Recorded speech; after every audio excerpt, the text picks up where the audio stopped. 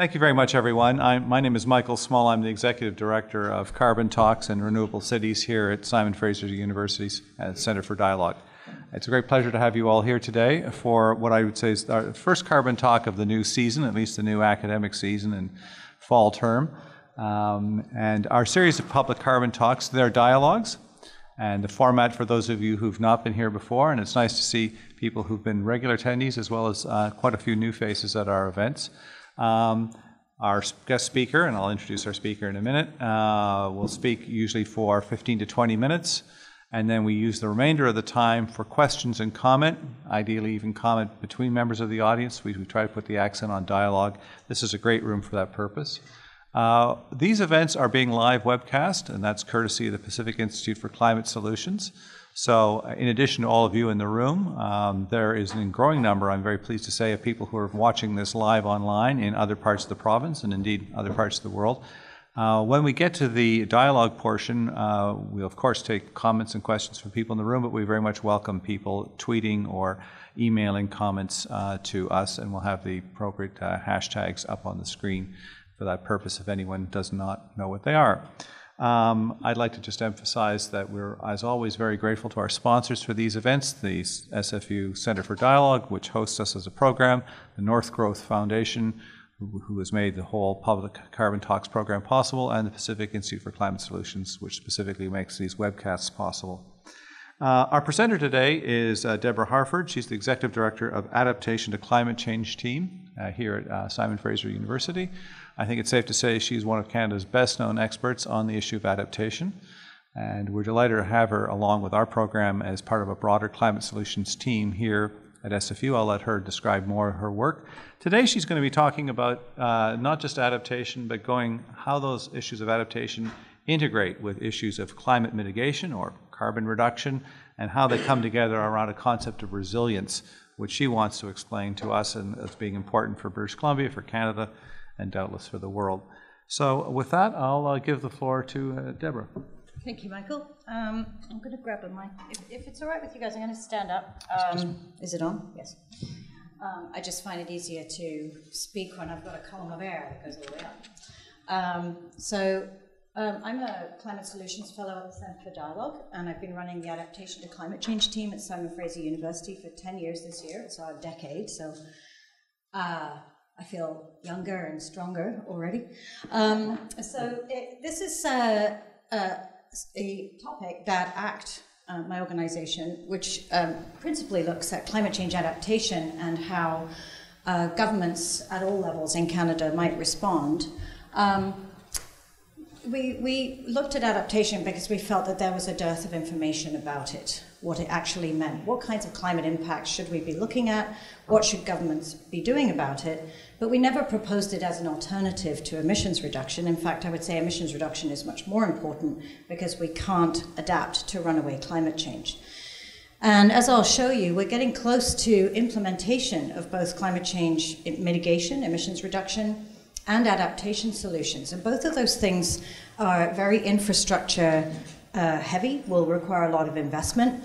And it's probably time we started integrating them and trying to think about how they connect to one another for more than one reason. So, just on the adaptation side, we know that even though we're reducing our emissions, we have every intention to do so. We've already locked in a level of climate change. While it's very important, as I've said, to reduce our emissions, we have to think about how we're going to respond to the climate change impacts that we know are coming. And there's a great deal of uncertainty in terms of those projections. So the BC guideline for sea level rise that's already in bylaws for municipalities in Metro Vancouver is one metre by 2100. But in April of this year, uh, the National Oceanic and Atmospheric Administration's Margaret Davidson said something really terrifying. She said that it might be three metres by 2050. And I was, nobody put this out there in the media. This was, she said this at the Risk and Insurance Management Society conference in the US to 10,000 risk managers. It came out in an insurance journal. And uh, so she says, well, this, the science isn't uh, peer reviewed, this won't be uh, out yet. Um, that, so that's very extreme. But this is what municipalities are trying to figure out how to deal with. And it's not just municipalities, it's the insurers, um, you can see the trend there on catastrophic loss in Canada. That goes up to 2014. That huge spike that you see there is the Calgary and Toronto floods, but since then it's gone up higher. We've had Fort Mac. Um, both of the flooding and the fires are connected to climate change and are projected to get more severe. We're projected to see more extreme events like that. And Canada's Parliamentary Budget Officer predicts that extreme weather will cost Canadians about $5 billion a year between 2016 and 2020. And this here is what the federal government pays out uh, to municipalities and to the uninsured. So you can see it's already had a major spike. So that's, we're all paying that, it's taxpayer money. July 2016 was the hottest month since human record keeping began. Uh, it was something like the 13th or 14th hottest month in a row for the standards for each month. But so we're seeing a definite uh, signal of climate change over and above the El Nino that's been happening. Um, so these things are already affecting us. And the World Economic Forum's 2016 report for global risks uh, did something, again, that was a, an absolute first. It put the failure of climate change mitigation and adaptation as its top concern for the next 10 years. Interestingly, though, the other ones that are the top concerns are all very connected to climate change impacts as we see them projected. Extreme weather, food crises, and profound social instability uh, are all connected to climate change impacts.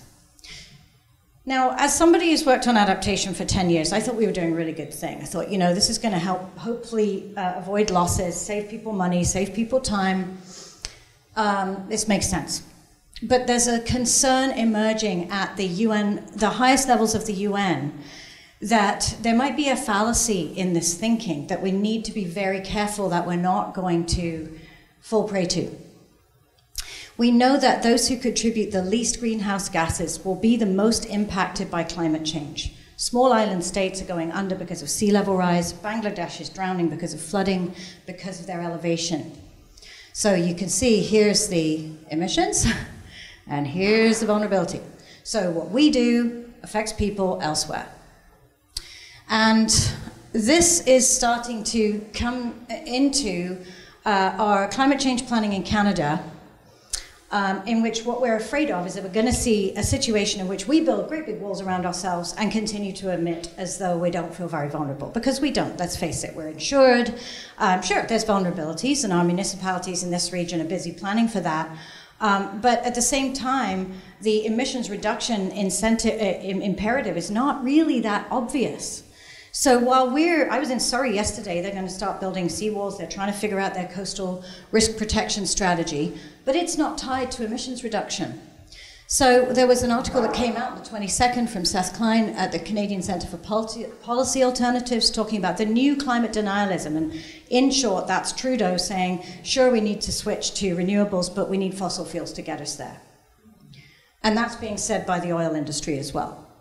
Uh, Bill McKibben, in his article that came out on the same day, showed that in the current fossil fuel industry, we have 942 gigatons ready to go. It's ready to go. This is not new stuff. It's, it's, this isn't stuff we have to pull out, a, you know, do more exploration for. But we can only burn 353 gigatons if we want a 50 50 chance, only a 50 50 chance of staying within 1.5 degrees. The main sort of COP goal is to stay under two. We can burn 800 gigatons. That's still a fair bit less than 942. But James Hansen today posted a graph that shows we've already warmed 1.3. Now, if you listen to the Association of Small Island States at the last year's COP, the, the message was 1.5 to stay alive, and Catherine McKenna championed that. But uh, we're very, it's going to be really, really, really hard to do that. So, um, to cut a long story short, this is really sad that that's cut off because, well, that's kind of our situation. We are morally bound to bring these two processes together. Sure, we can't let our municipalities go under and our, our industries, but we can't do it if we don't, we can't justify building Fortress North America while Bangladesh drowns. But this isn't new thinking. Um, and this was 2008 this is a quadrant, uh, sorry, a graph, um, and on the uh, horizontal axis, you've got emissions being increased and emissions being reduced. So we're trying to go over here, this is mitigation. And on this axis, you've got vulnerability to climate change reducing and increasing, so we're trying to go up here. So this is where we want to be, in this quadrant here. And so this was already, already described by some of our uh, really um, innovative climate adaptation researchers uh, in 2008, but it hasn't been taken up because people were too, too busy arguing about was climate change real? We had 10 years of the Harper government, which let's just, you know, that argument continued.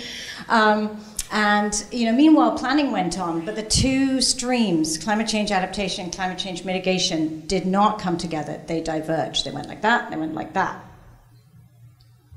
Now, we are getting closer to implementation of both of those streams for a bunch of different reasons, and one of them is that all the international agreements that have been made recently, the Paris Agreement last year, the Sendai Framework for Disaster Risk Reduction last year, the UN SDGs last year, and the fifth assessment report from the IPCC. So all these came out last year. All of them are influencing international decision making. They all state we must do mitigation, we must do adaptation. We may see a national price on carbon in Canada in the November plan from the federal government that will come out. There's going to be a national plan that's been worked out between the feds and the provinces. We have our program here at SFU, Renewable Cities, that Michael is the head of. Vancouver has pledged 100% renewable energy by 2050. We know there are going to be major disruptions, disruptive technologies, EVs, driverless cars that are going to transform the urban landscape based on renewable energy.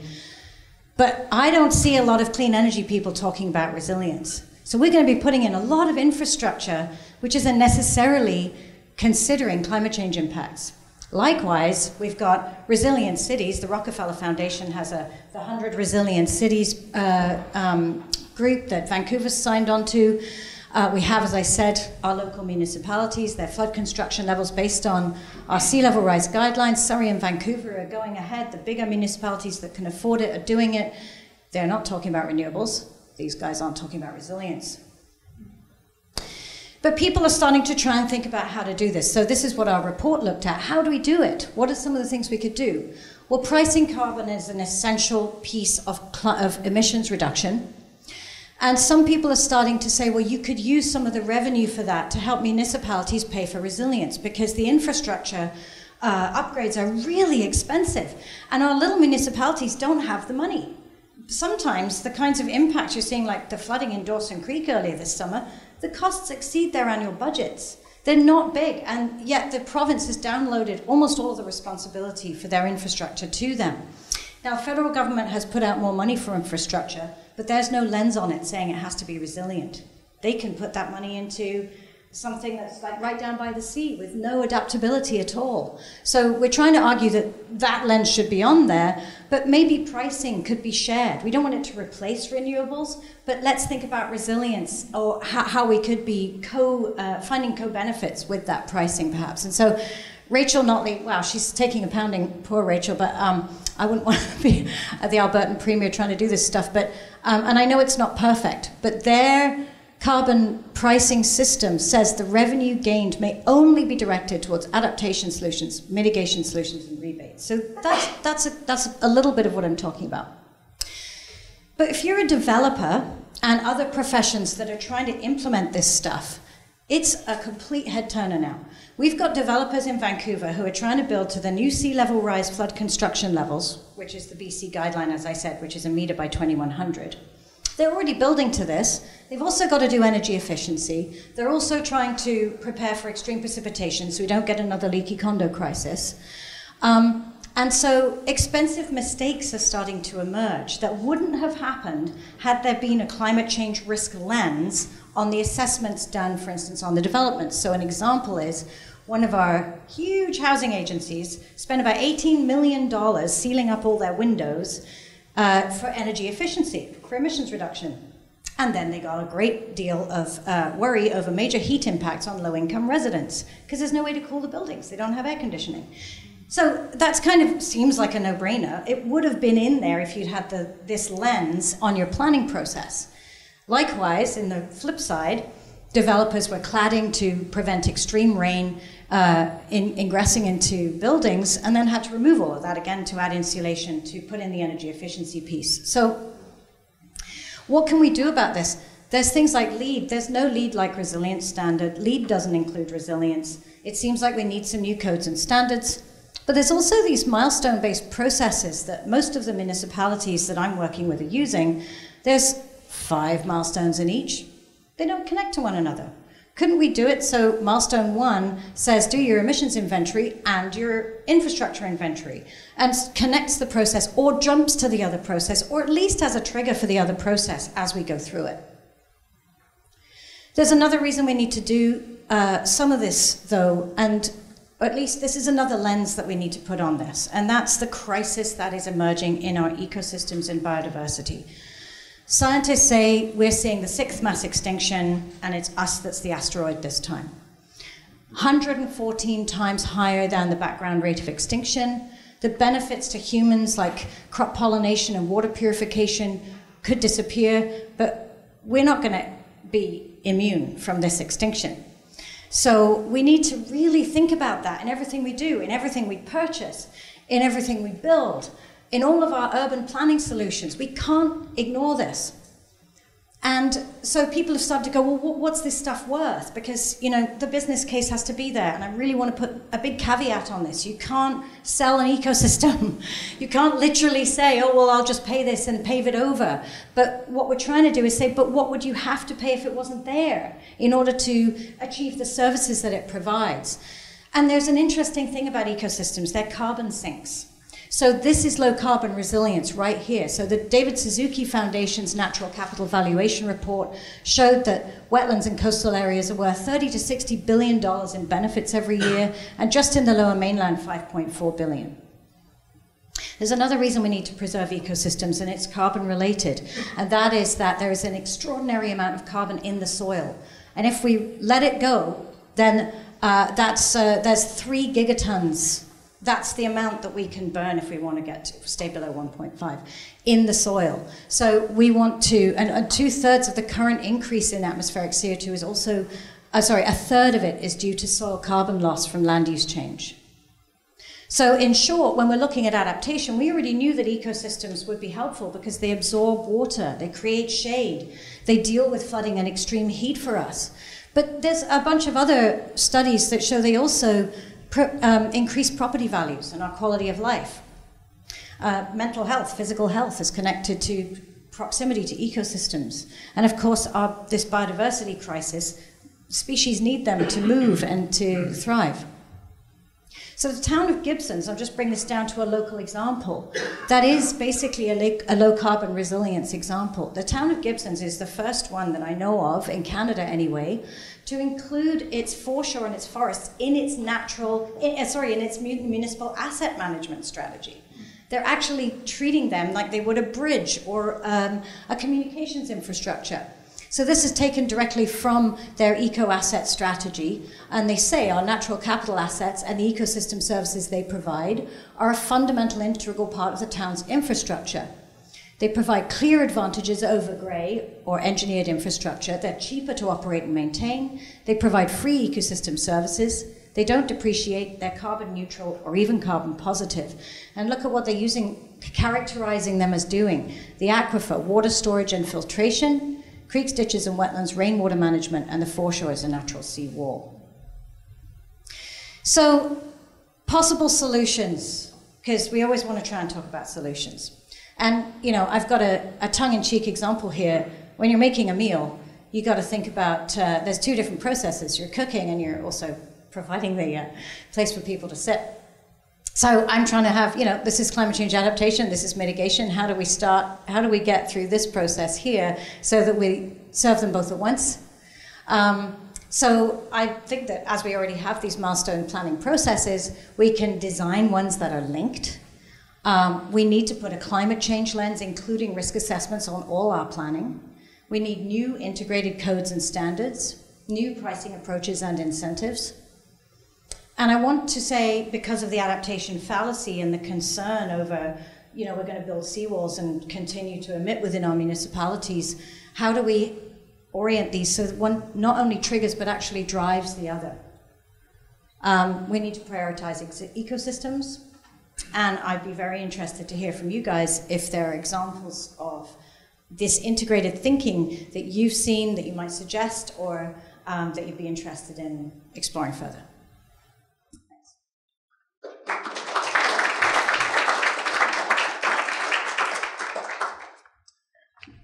Thank you, Deborah. Um, Actually, I'll take, since you've been generous when giving us uh, so much time, I'll make just a couple of comments. One I can't help commenting is that your menu looks rather like a great British breakfast up there. Um, It's, it's definitely influenced So in, by in, in future evolutions, it might turn into bannock and salmon or something like that. Um, but I was thinking as you were presenting, uh, you know, about the, and I'm sure our questions and comments will come back to this. Why is it that we maintain this mental bifurcation between adaptation on the one hand and mitigation on the other, and what would be good examples of trying to do both at the same time? And in fact, far from the only example, but maintaining, preserving, restoring natural ecosystems, in fact, would have both those impacts for exactly the reasons that the Gibson case provides. So it's a good in of itself, but it actually is a very direct contribution towards maintaining, under a rubric of resilience, both services that municipalities want, and as a carbon sink, it makes a contribution towards towards uh, mitigation. Um, I'm going to open the floor up to comments and questions. Uh, there's our Twitter uh, handle. Uh, help for me to go and sit and look back at our banner for Carbon Talks. If people need an email, I'm just going to look for Kian. Uh, what's the email uh, address, Kian? Uh, it's hashtag carbon talks. So, okay, Twitter is hashtag Carbon Talks. If you put Carbon Talks in, you'll find us. Uh, and I'd be very welcome to take comments or questions from participants uh, and also uh, on online. And I see this lady here. Just give a minute so that the that the uh, yeah. Uh, well, you, you just yeah use it to comment or reply. Go ahead, please. So the work that you do in the agency that you have, and thank you for the work you do, um, are you are you creating a template that can show the different levels of government? Because it seems like it's an integrated planning issue, really. Because there's a lot of knowledge that there's a lot of knowledge out there about how to mitigate and adapt, but then it's connecting the dots. So are you creating a template that will allow for the planning process to integrate these different steps? Well, we're right at the beginning of this discussion. So this is something that we published that report in June, and it was a high-level overview of the need for this integration. Um, and uh, so we haven't done that yet, but that certainly would be um, a, a good idea. I think it's going to be really interesting to see what the federal plan looks like in November when um, Trudeau's government releases it. Um, I think, you know, that will be a driver then at that point to see is there a focus on adaptation, is there a major focus on mitigation, and how we should be combining the two. Um, so we haven't moved, we haven't got there yet. We're literally just trying to sort of start this discussion because um, I, I don't, I mean, ecosystems are an enormously high priority, but they're not the only way to do this. And so for a developer, for instance, you know, there, there could be other considerations. So it might also be something you'd want to do sectorally, you know, for different professions as much as for different levels of government. So all of the above, and uh, yeah, hopefully we'll get support to do that. Sir? Yeah, do you see any movement in British Columbia or in Canada toward developing um, either a provincial resilience plan or a federal resilience plan? Um, like, for instance, the state of Oregon has put together a resilience plan, and um, haven't seen too many indications in Canada yet of uh, jurisdictions moving in, in that direction. Yeah, no, it's been very much the municipalities that have been doing that. Um, I think one of the effects of the Harper government sort of really dampening down any kind of eh, mo- eh, momentum, sorry, for action on this at the federal level had an effect also on the provincial level. And so really the cities started to take leadership, and I think Vancouver's a great example of that. So Vancouver was the first municipality in Metro to have an adaptation plan, and they brought theirs out in 2012. Surrey is competitive with Vancouver and actually is growing faster, and they came out with theirs in 2013. Um, and many people wrote in to the consultation phases for the BC uh, climate leadership planning, um, and uh, you know, it's still very much motherhood statements that have been made. There isn't really anything, um, you know, comprehensive, which is um, interesting. I think Ontario produced its climate change plan, and uh, according to them, they'll have a climate change adaptation plan that will be coming out this fall. Um, so we asked them, is it going to be integrated with your emissions planning? Um, and we'll wait and see if that's if it is. Um, so I think that the, from what I'm hearing at the federal level, um, what's been happening is that since June, the federal government has been um, consulting with the provinces on four different streams for a national climate change plan. One of those is on adaptation. And again, I went to the adaptation working group at the federal level and said, Are you integrating this across the other three, which are all emissions related or energy related and technology? Um, and uh, from what I hear, the adaptation stream is going to focus heavily on infrastructure um, and infrastructure planning and uh, knowledge transfer and outreach. So um, I, I, I, some colleagues of mine have written to Infrastructure Canada and said, are you putting a climate risk lens on this money? Um, so we'll wait to see, but that federal process was done in conjunction with the provinces. So um, when I asked about the integrated thinking, uh, he said, well, by default, because many of the provincial representatives are on all four groups. So um, when you've got one person on all four groups, it's not intentional integration. it means they're being exposed to all the discussions. So it kind of remains to be seen what the national plan will drive. And I think that the BC plan may change after the national plan comes out as well, when we see what's in it. Uh, Deb, I'll take the opportunity just to ask you, um, sort of building on that. When you go to either talking to provincial governments or when you go to Ottawa, as you do, I mean, do you actually meet people whose you know, full-time job outside of municipalities is adaptation. They get up in the morning. That's what they do. They're in the adapt. They're in the in either the provincial or the federal level. They're in the adaptation section group.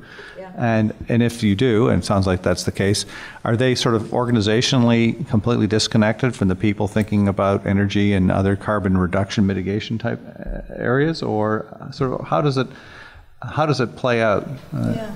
Yeah, they are. Um, that's what's been um, concerning me. I, I, just sort of assumed that we would start to integrate. It, it, it, there, there's a reason why the two came out divergently like this. It's because the first thing we realized was that emissions were causing climate change. So everybody started going, okay, well, how do we reduce our emissions? And that became, yeah. you know, a, a, a paradigm. And then we realized we're not going to be able to do it fast enough, and we're going to see climate change impacts. And so everybody said, okay, engineers, how do you deal with, you know, flooding? And that is literally how it has continued. Um, but now we're at a point where the both, you know, are, are, are, should really be converging, which is what we're talking about. But I know I'm not seeing that. And um, so at the BC government, they have a adaptation group.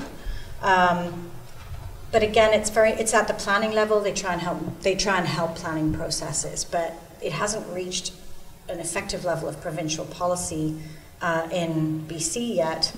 Um, actually, I don't think it really has in, in any of the other provinces. Quebec and Ontario are trying.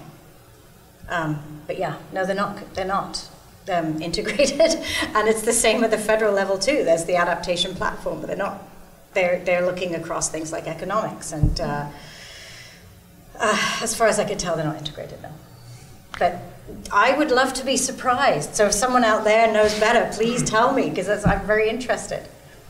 Take some more comments and questions, yeah. So Mark, put his Yeah. Thank you. Um, actually, I have uh, two queries, one at the micro and one at the macro level. So first the micro, and really as an example of day-to-day living. Uh, last winter, um, my wife and I decided to cut down on our fossil fuel use by, by um, going to the electric uh, heater as a default rather than gas fire. The fact is, is that we weren't motivated to do that by a carbon tax. It's peanuts in the process. So it's more of a, uh, a moral stand, if you like. And I'm wondering, um, given that um, City of Vancouver is now saying 2050, that's the date by which uh, there will be no more installations of gas fires in apartments, condominiums, and so on, as a regulatory approach as opposed to a carbon tax. And in fact, we had, uh, I think it was just last week, uh, Mark Jaccard of SFU saying that regulation is the way to go because politically it's easier. So my first query to yourself is, is this switch in philosophy in line with what you're thinking of where we are going? And now my second question is more on the macro level. Uh, last year I went to a, a, um, a, seminar downtown and people were lauding the benefits of the northern boreal forest opening up to tourism. There was no discussion about how that would impact uh, climate change. And I'm wondering if, in fact, this is an ignored sub- subject. Uh, we know that as the Arctic ice decreases, then we're going to absorb more energy. But the same is true for the land. As the snow disappears earlier, we get those methane gases, which are far more potent uh, than carbon. So, are you hearing any positive news on how we can mitigate the effects of climate change in the boreal forest? Thank you. So, two questions. Um, the, yeah, so um, I, I, I'll, I'll answer the, the second one first. I don't, I'm not hearing a lot of good news, unfortunately, about that. Um, because, well, you, you've touched on some very important things, like methane is, um, I can't remember how much more potent than CO2. It's much shorter 20. lived in the atmosphere. 25 times? At least 20. It's at least 25 times in, uh, sorry, about 25 times in it, but it only stays in the atmosphere for, for about 12 years. So carbon stays in the atmosphere for over 200 years. So, you know, methane is a much more potent, more short-lived, but could cause us some very, very big problems. Um, there's an Arctic methane emergency group. There's, there's a great deal of alarm about that that just doesn't really seem to make the headlines very much. Um, the other problems that will hit the boreal are things like the heat, um, much more likely to have big forest fires. We're seeing pests, uh, pine beetles killed. You know, in, in our region, thousands and thousands and thousands of hectares of trees, and now the pine beetles kind of gone through. There's other ones appearing, like the spruce spruce borer, and um, so I think that the forest may be vulnerable, um, but all the more importance to to not allow development in it and to protect the ecosystems there because the more you fragment ecosystems, the more vulnerable they become. And if you look at the um, the, the proposals for mining gas, etc., in the boreal, it's it's heart stopping because there's there's so many of them that you know putting roads through it's and and, and uh, disrupting the ecosystem up there. We really should be protecting what we have, and that's the only that's the best chance we've got of making sure that it survives and continues to act as a carbon sink. Um, in terms of carbon pricing and regulation, I'm not the expert on that. So Mark obviously is, is uh, you know, SFU uh, world leader in this stuff. If he says regulations are, are most effective, then um, he's probably right. But ACT co-founder Nancy Olewiler is one of the architects of the BC carbon tax, which has been praised widely as a very good model. Um, not so much for individual homeowners, I think, but more for large consumers like industry. Um, and, but it has to increase in price. And so as it's frozen right now, no one's really, it's, it's not going to be as effective as it could have been. But there are others in the room who could speak better to the carbon pricing piece, and I welcome that if someone else would like to make a comment in response to that question. The only comment actually I'll make before we go to the next person is, and uh, carbon pricing is a subject we could do nothing but carbon talks on carbon pricing and not run out of things points of view. But um, I think part of Mark's point is that regu- it's sort of a political one. Regulation is easier to implement. And he often cites the example of BC Hydro uh, being obliged to move to purely clean hydro sources and not go into building new coal-fired plants. That's ex- kind of a regulation for them. It's easier to implement and less likely to cause political backlash than, than attacks or increasing attacks. Um, but that's a more pa- matter of tactics and communications than an intrinsic impact. Um, we'll go to the next uh, person who wishes to speak. Hi, thanks, Deb. Um, so, actually, a little bird told me that um, right around now, possibly the federal uh, environmental assessment decision on uh, Pacific Northwest LNG um, may drop. So, um, this will be, I think, one of the, the first real tests of the Trudeau government's commitment uh, to, to climate action. And as you pointed out, we, you know, they've been very good about talking about, about both things, wanting to do climate change on the one hand and wanting to build more fossil fuel infrastructure uh, on the other hand. And it, so it seems like, um, you know, in spite of the Paris Agreement, you know, we'll, we'll, time will tell, but, you know, it looks like we're basically going to blast through two degrees of global warming. And so, so we do need to think seriously about, um, you know, what our adaptation response is going to be. Um, to me, like sea level rise feels so far away. Um, and, you know, it's like, okay, one day there'll be a big flood and then we'll just build the dikes higher. like, but I'm just wondering, like, if you had a billion dollars to spend, um, you know, on infrastructure, um, you, you, know, where would you put that money right now in terms of you know, triaging the, the, the potential, um, you know, resilience uh, infrastructure investments that uh, you could think of? Well, if I had a billion dollars, I'd probably go on holiday, actually. Um, so Long holiday, man. but, but, I'd walk there. I wouldn't. um, that, that's just a great question because I, I, we have to think on an ecosystem level. So I would probably create um, a system of uh, facilitation for people to talk to one another about how to respond within watersheds boreal scale planning. Um, I'd, I'd, you know, nobody really wants another level of government. Everybody's overstretched already. But what government doesn't do very well is think about um, the ecosystems within which we exist and which are mitigating a lot of this stuff for us. So you've got organizations like the Fraser Basin Council, uh, the Okanagan Basin Water Board, the Columbia Basin Trust, um, which are all trying to do that kind of a job. And, and the benefit of those organizations is they can bring together all the municipalities in a region and help them think collaboratively. So I would try and resource organizations that do that, and I'd, I'd probably spend half of the billion on that, and I'd spend the other half of a billion uh, educating people. Because I really think that a lot of our problems uh, are partly that there has been at least that amount spent by the oil industry spreading misinformation. So if only we had the same amount of money that they have, we could really help people wake up to you know what's what they face in their lifetimes, uh, what their children face, and you know think on that indigenous level of what's what does the seventh generation from now face, um, because it's not pretty, and in what we're looking at.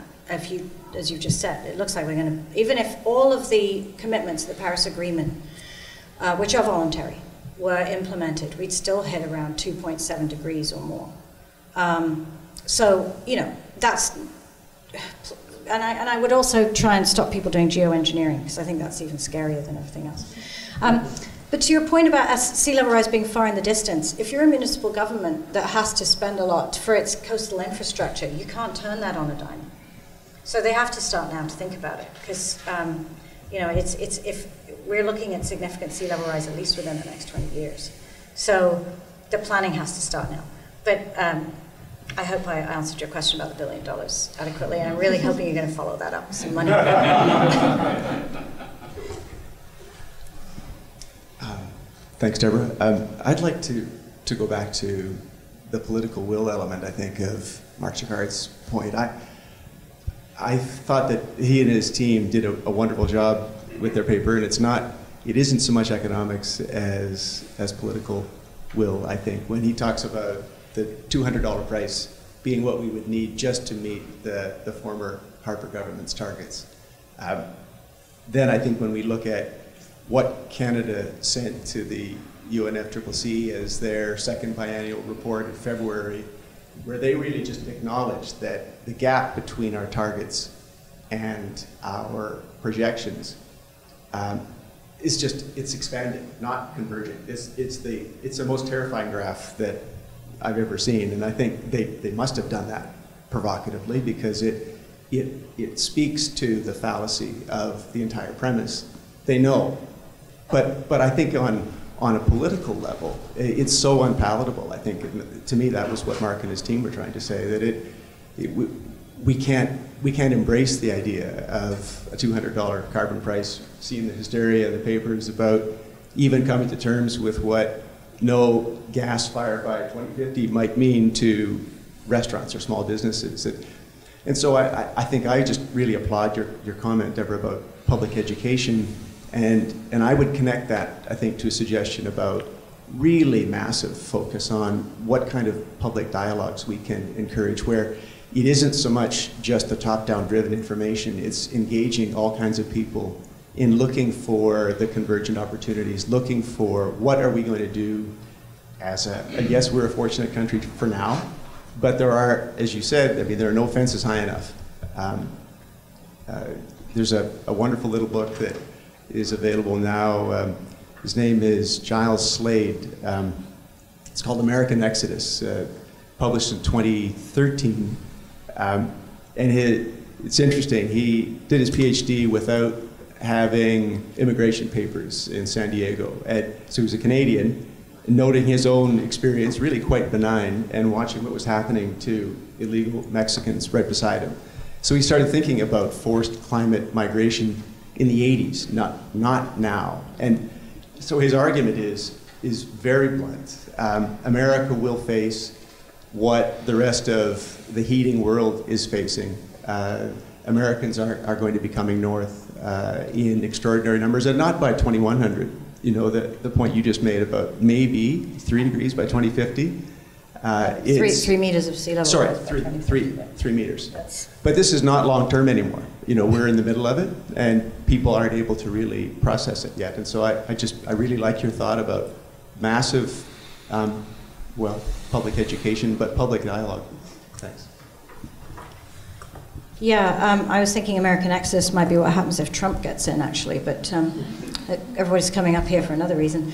Um, but uh, I mean, if you look at the instability that's been that's emerged in the EU since the Syrian refugee crisis, um, you know, that's the tip of the iceberg in terms of climate migration. Um, you, you, I'm not by any means claiming that the Syrian crisis is completely due to climate change, but the destabilization caused by drought and crop failure certainly does have a destabilizing effect in geopolitical regions where there's already um, strife and, and danger. And um, we, you know, we, we've, we don't even really feel touched by that because they went to the EU. But there will be crises that bring people here. We're a destination country. Look at the space we have. Um, so, you know, I think it's it's sort of visceral impacts like that that start to um, reveal how important it is to plan for these things. And actually, ironically, ACT was formed in the first place because we were looking at UN projections of 350 million climate refugees by 2050 and going, how are we going to prepare for this? Um, so, uh, but you know, in terms of uh, how we move this this dialogue along, I go back to the adaptation fallacy. I don't think we're connected enough to the people in Bangladesh or the small island states who I've been to those. I haven't been to Bangladesh, but I've been to um, the Philippines, for instance, to small little islands there. People are drowning there. And they, I have been asked the question in a room full of probably 500 people why aren't you guys reducing your emissions? We're drowning. And I'm just, I'm like, I'm, I'm so sorry. You know, I, I, it, we don't feel that visceral guilt yet, but we should. And there has to be more than just our self interest and uh, at stake here because um, it's turning into murder. You know, this is this is literally uh, on blood on our hands if we don't do it. Um, that said, Nick Mark's an economist. He'll tell you know. I mean, that's it. Doesn't work like that. The business case always wins the day. The boys in the back room going, "Uh, we can't do that." So, how do we make a business case out of that? I don't know. Um, uh, I think that there is a lot to be said about how fast we could be transitioning to less intensive emissions, inten- less, in, less emissions intensive fuel sources.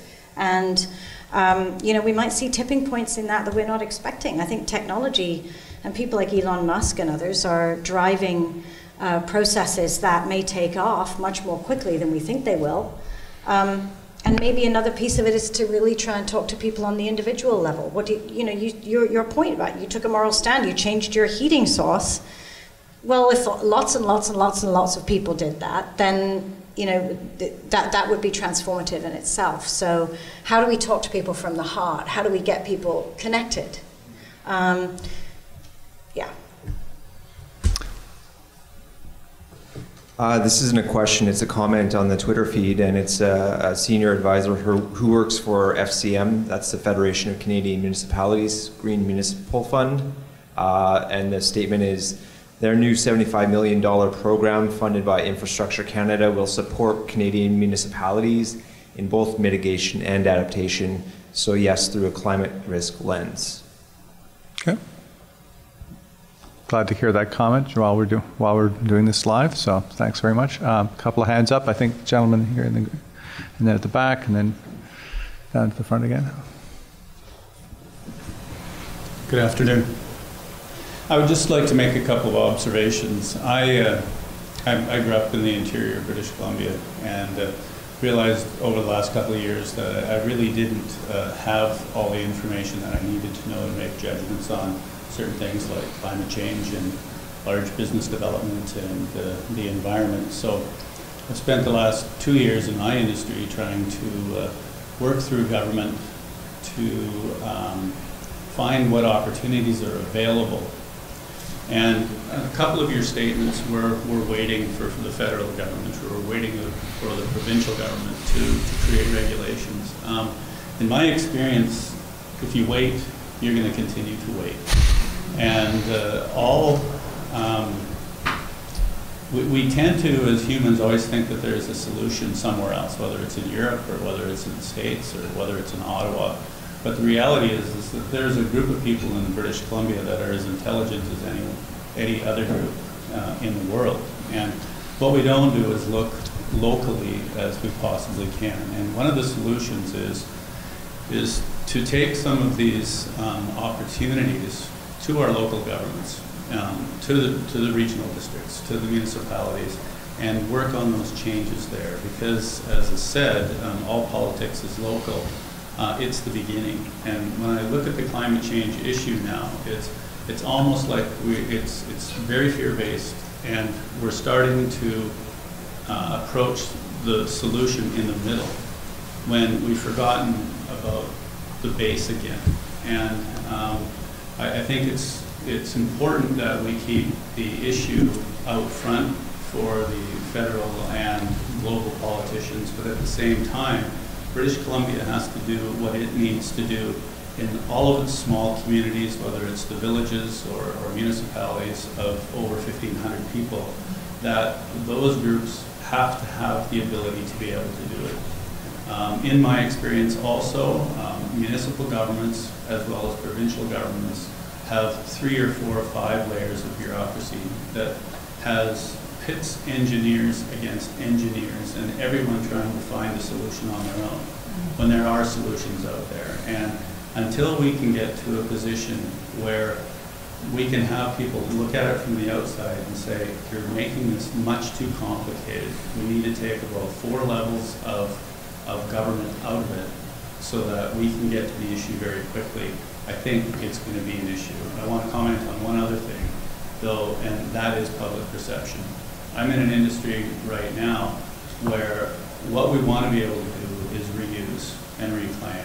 And it's very difficult for us to be able to do that because of public perception. So you're right, municipalities and provincial governments do not want to spend money on um, public awareness campaigns. It seems like it's, it's just, there's no value in it. But to be honest with you, if I had a billion dollars, that's where I'd be spending my billion dollars. And that is, is making people aware of what's going on, and then trying to really hit the solutions at a very basic home level, uh, as opposed to always trying to get it at the federal and provincial level. So just some comments. Thank you for that comment. Um, we'll just go to, I think Deb, we'll just carry on, and take a few more comments because we're in, down to about our last 10 minutes. Hi, um, my name is Meredith, and I, I run a group called Student Energy, and we do energy education globally in terms of energy entrepreneurs and launching people kind of into the world of solutions in terms of climate change.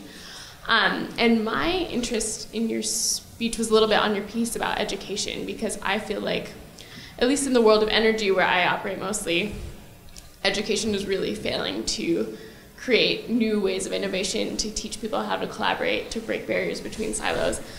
Um, and also how people influence their politicians and their government is pretty much the opposite of how you would go about influencing someone who is a typical media consumer online these days. So I was wondering if you had any thoughts on effective education mechanisms you've seen within resilience or within climate. Um, I, I think that that I don't actually. So I, I mean, I think we're constantly trying to figure out what to do, and the conversation around behavioral change and how to motivate people has been raging back and forth from doom and gloom just depresses people. People get climate fatigue, and then they don't want to do anything, and they stick their heads in the sand and just go party on till it's over.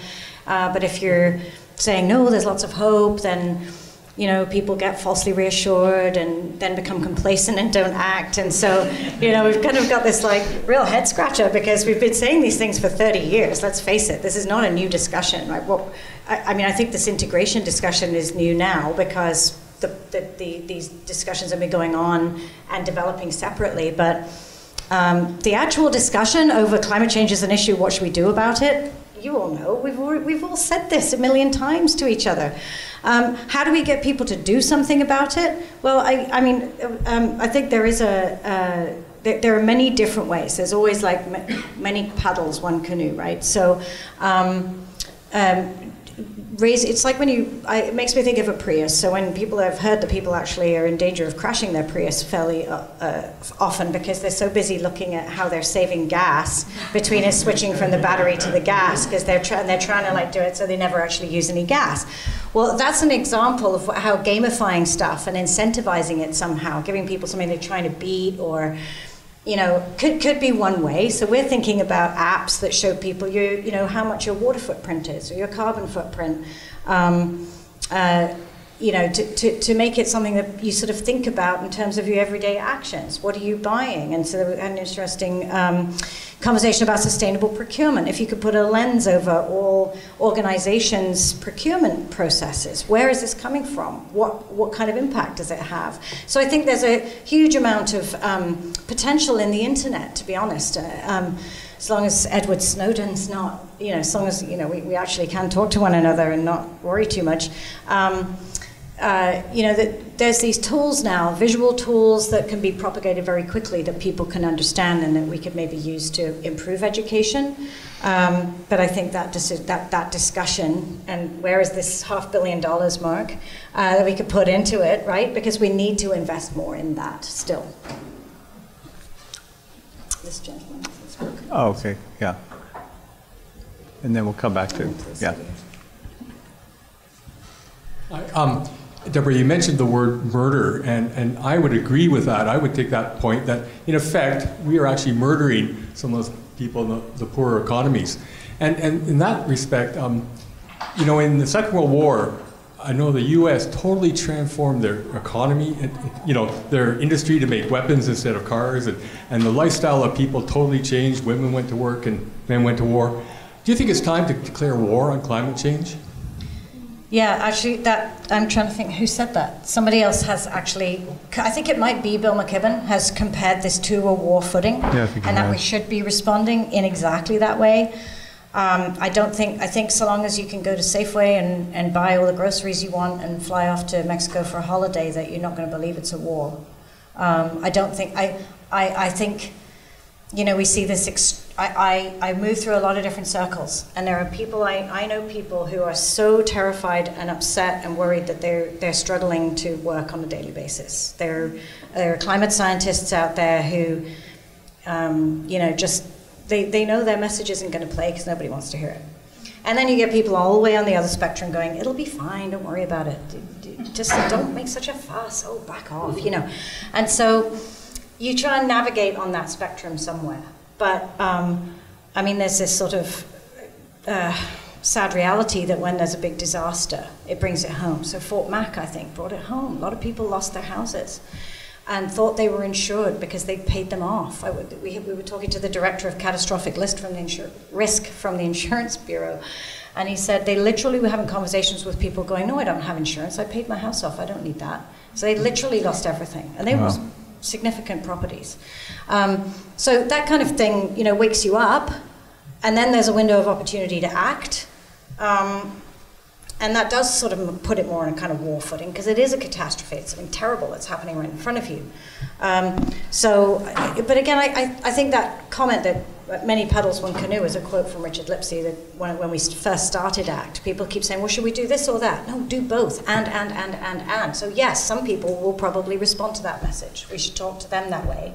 But there are many other ways to convey stuff, like through apps and sustainable procurement and other approaches that we should be using as well. Carbon pricing, whatever we can do, we should do all of it. This, this lady. Um, yeah, we'll just take. I'll if be you super could- quick. yeah. So uh, everybody's referencing this billion dollars, and I have a sustainable procurement platform that needs two billion of it. Um, so I'll just put that out there.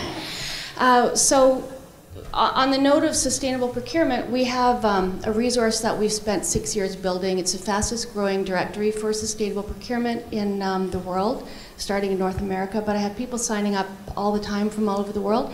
It's greenpagesdirectory.net, and you should write that down greenpagesdirectory.net. So you can share your information um, about uh, leading edge innovation and why people should do things, and then it points to a directory and a database that allows people to help figure out how they can do it.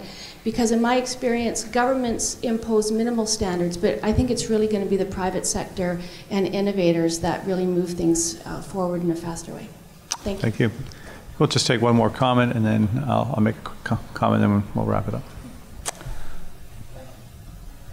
Uh, the people who have suffered a tragic disaster, like people in Fort Mac, uh, it doesn't matter what their personality is going to be, it's real to them. But for the rest of the majority of us humans in Fortress North America, who can only abstract this, uh, maybe we should be taking the approach in public education. So this is actually a question. Mhm. Do you think we have been lacking sophistication to recognize different personality types? Now, just as much as you're not an economist, I'm presuming you're also uh, not a psychologist or a psychiatrist, although who knows what hidden, hidden talents you may have. but perhaps the education must become more sophisticated to identify different types of personalities and give messaging to those types of personalities instead of one shot fits all, because we already know the silver bullet doesn't exist in climate change adaptation or mitigation, and neither do our psychological processes and cultural uh, orientations. Yeah, I, I'm actually a communications expert, so um, that's that's my background. And different language for different audiences is absolutely key. Um, and so we're talking to all different sectors. We're talking to lawyers. We're talking to engineers. We're talking to utilities managers. Um, trying to learn what's what language do you guys speak, so that we can convey this stuff in resources and finding out how it's uh, landing for them in their practice. But also their sorry, the microphone. But also their their personalities, what motivates them. It's not just their language. It's like, oh my God, this is real. I got to act. Yeah. To create the urgency that it's real to them and it's right now. Yeah, and the, the one of the issues with climate change adaptation is it's quite a hard thing for an individual to do by themselves. It has to be a, a regional thing. You can certainly make your home more resilient to extreme uh, precipitation.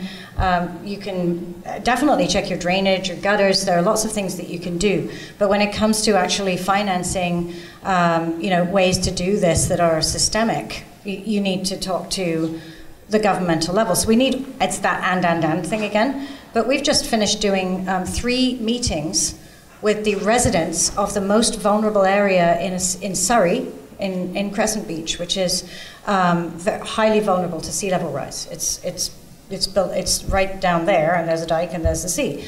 And, you know, we, it was the first time that I've spoken directly to people and shown them what their water level is going to look like over their house in 2020, 2040, 2070.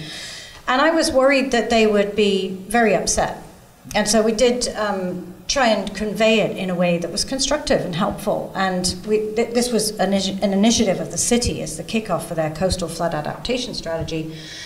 And it was a very different kind of talk to even the one I gave you guys today. It was much more based. We, we looked to, we wanted to engage them around their values. What is it that you want to see in the future? How would you like to work with the city? That kind of thing. And I found people extremely constructive, very well educated, and enthusiastic to do something. Um, they weren't prone to uh, panic, actually. Um, they basically were like, okay, what can we do? How can we help? We want to work on this.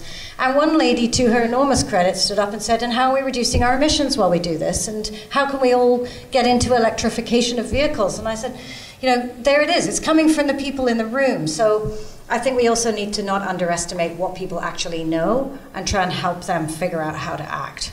Um, but telling your leadership is one of the biggest ones, and I constantly say this one letter to your prime minister, one letter to your mayor, um, one letter to your premier is worth a thousand voices because people know that most people won't write. So it's really worth letting leadership know what you will support because they're afraid they're going to get chucked out if they do stuff that's not popular. Thank you very much. That's a very great way to end, uh, which is a, shall we say, a confronting topic.